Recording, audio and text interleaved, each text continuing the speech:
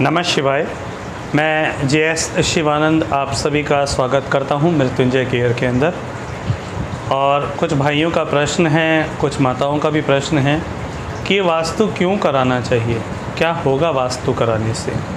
और वास्तु का क्या रिलेवेंस है हमारी लाइफ के अंदर? क्या रोल है? और ये किस तरह से काम करता है अगर हमें कराना चाहिए तो? देखिए, इसमें कई प्रश्न हो गए, लेकिन उत्तर सिंपली एक के साथ एक एक बनता जाएगा। क्योंकि उत्तर होगा रिदम के साथ। आपको पूरा वीडियो समझना होगा। थोड़ा सा समय लग जाए तो उसके लिए क्षमा चाहूँगा। पर आपके अंदर तक, आपके अवचेतन तक कोई चीज़ उतरनी चाहिए, ये ज़रूरी है।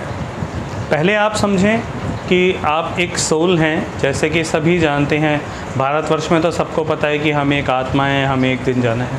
आप ऐसे समझें, अगर आप एक सोल हैं तो उस सोल को जीने के लिए ये शरीर मिला। इस शरीर के ऊपर के चार शरीर और, जिसमें प्राण शरीर, मन शरीर, ज्ञान शरीर और फिर आनंद शरीर या ज्योतिर्मय शरीर आपका। तो ये जो शरीर हो गए, ये तो हो गए इस ज्योतिर्मय के लिए, इस सोल के लिए। इस शरीर के लिए जो घर होता है, वो कौन सा घर होता है? जो हम निर्माण करते हैं। उसे कहते हैं छठा शरीर, क्योंकि वो इस घर का है।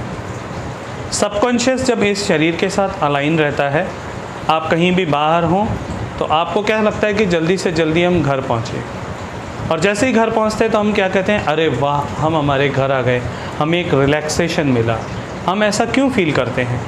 क्योंकि जब हम इस शरीर में आ जाते हैं, छठे शरीर में अपने घर में तो हम हमारे कॉन्शियस एंड सबकॉन्शियस माइंड की वो सारी चीज़ों को वापस से हमारे घर में रिलैक्स कर देते हैं। कहीं यात्रा पे होते हैं कहीं होटल में रुके होते हैं या किसी के घर होते हैं, सामान कहीं इधर उधर होता है तो हम क्या करते हैं? फिर उसे समेटते हैं ना कि चलो अब चलना है बैग पैक करना है बैग पैक करना है, आगे चलते हैं। और जैसे ही हम हमारे घर आ जाते हैं, हर चीज़ को हम अपनी अपनी जगह पे रखना शुरू कर देते हैं। तो जब हम यात्रा पे होते हैं तो एक बैग हमारे लिए होता है, वो पूरा सामान जिसमें रखा होता है।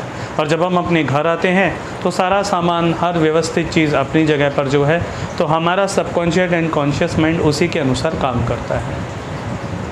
तो आप जितना सोचते हैं उसका प्रभाव आपके घर पर पड़ता है।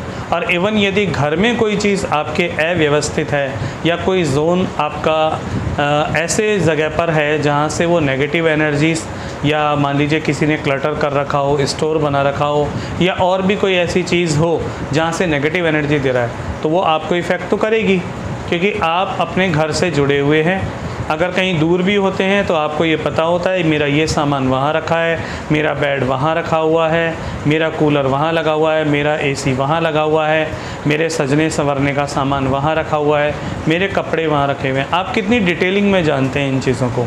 आपको पता है कि आपकी कौन सी चीज़ कहाँ रखी है। तो आप दूर होकर भी अपने घर से कितने कनेक्टेड हैं। तो जब आप घर में होते हैं तो भी आप कनेक्टेड होते हैं। जिस प्रकार मान लीजिए कि एक डॉक्टर है, आपके शरीर में यदि मैग्नीशियम कम है, कैल्शियम कम है, कुछ भी कम है तो वो उसी की गोली आपको देते हैं, ताकि आपको उसमें रिलीफ आए। आयरन कम है तो आयरन का मिलता है कि बस रिलीफ आए, आपका हीमोग्लोबिन सही हो जाए, यही होता है। तो यदि आपके घर में भी कोई जोन कम है और उस अर्थ के अंदर किसी मेटल की जो एनर्जी है अगर कम है तो उसको लगाने के लिए मेटल्स भी लगाते हैं, कुछ यंत्र भी लगते हैं कुछ अलग अलग जैसे एनर्जीज़ हैं चैंटिंग्स हैं, आपका मेडिटेशंस हैं। तो ये जो सारी चीज़ें हैं, ये आपकी घर की एनर्जी को अलाइन करने के लिए है, ताकि आपका शरीर इस घर की एनर्जीज़ के साथ अलाइन रहे, उससे जुड़ा रहे। घर में कोई बदलाव हो तो आपका सबकॉन्शियस उसे बहुत जल्दी रिसीव कर लेता है।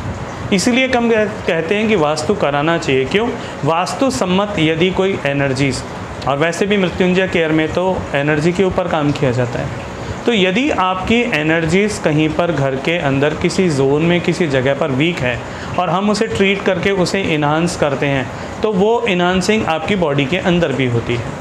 वो सबकॉन्शियसली होती है और आपका सबकॉन्शियस उसे रिसीव कर लेता है, बहुत अच्छे तरीके से एब्जॉर्व कर लेता है और आपकी लाइफ में चेंजेस आना शुरू हो जाते हैं। तो पहली चीज़ तो ये कि इस वास्तु इसलिए ज़रूरी है क्योंकि आप अपनी लाइफ के अंदर क्या गोल मैनिफेस्टेशन चाहते हैं, आप क्या करना चाहते हैं, आपका क्या विज़न है, क्या आपके घर की ऊर्जा को आप अपने शरीर के माध्यम से वहाँ लगा पा रहे हैं, जहाँ से आपको फ्रूटफुल रिजल्ट्स लेने हैं या आपको आपके जीवन में कुछ प्राप्त करना है। ये है। तो वास्तु इसलिए कराना चाहिए ताकि आप अलाइन हो जाएँ। और बेसिकली पंच तत्व ही हैं, जैसे आपके शरीर में पंच तत्व हैं, वैसे ही इस घर के अंदर भी पंच तत्व हैं। पहले तो वो बैलेंस होते हैं, फिर जब आप नांगल करते हैं, मुहूर्त निकालते हैं, भोज कराते हैं तो उसका क्या मतलब है कि सारे देवताओं का आह्वान करते हैं कि आप आएँ, स्थापित हों, जागृत हों और हमें सहयोग प्रदान करें कि हमारा वर्तमान जीवन जो हम जी रहे हैं, वो सुखद हो, संपन्न हो और सफल हो।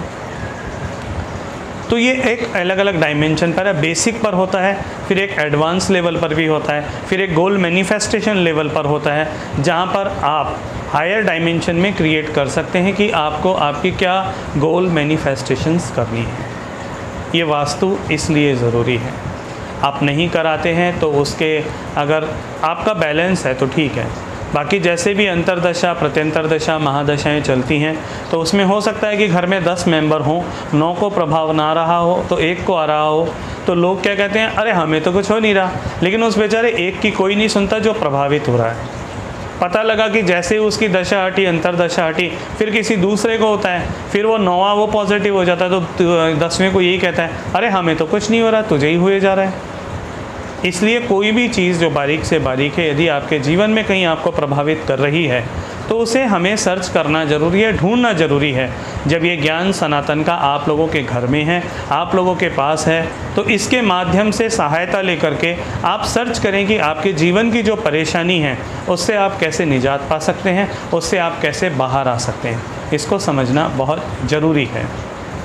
तो वास्तु क्यों कराना चाहिए? ये आपको लाभ ही प्रदान करेगा।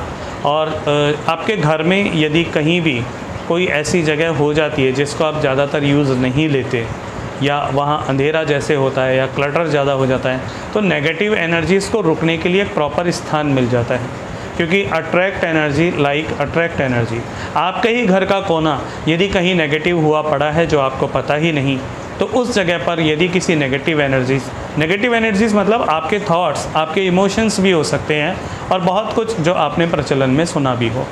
तो वो जगह स्थान पा जाती है और जब वो स्थान पाती हैं तो आपको पता भी नहीं होता क्योंकि आपका ध्यान तो कभी जाता ही नहीं है कि वहाँ आपको सफ़ाई करनी है, वहाँ आपको, वहाँ से चीज़ें हटानी हैं। क्योंकि आपके घर का एक वो ऐसा कोना हो गया जहाँ आपको देखने की ज़रूरत ही नहीं।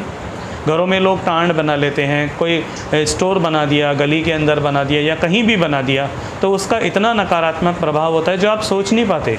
आपको तो लगता है क्या होगा, दुनिया ऐसे ही कहती है, लेकिन नहीं जी, उसका प्रभाव होता है। लेकिन आप समझेंगे तभी होगा। अगर आप इग्नोर करना चाहेंगे तो इग्नोर आप किसी भी चीज़ को कर दीजिए, कर सकते हैं।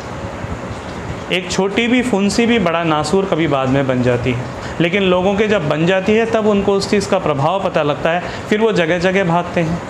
और हो सकता है कि कोई सही जगह अगर आपको नहीं मिली तो फिर नुकसान किसका होगा? ये सोच के थोड़ी थोड़ी सी चीज़ें हैं, वहम डालने वाली चीज़ें नहीं, लेकिन इन पर विचार करना इसलिए आवश्यक है, क्योंकि आपके घर का ही वो हिस्सा है। जैसे शरीर के अंदर आपके अंग